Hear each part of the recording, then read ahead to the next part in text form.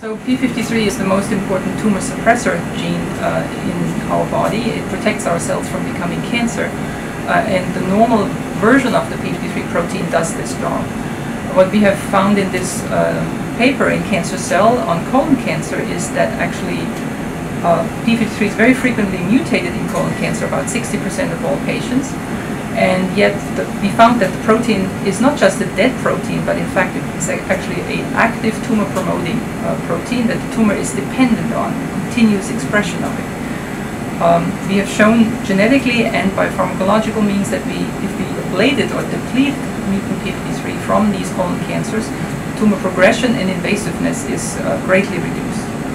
So we have defined a new important target, a drug target in colon cancer.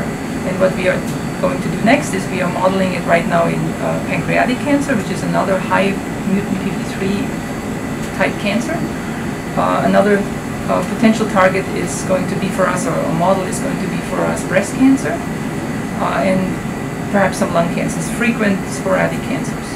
We will define and delineate in which cancers it is actually a rational drug target, and we will also develop the drug part of, of things a little bit more.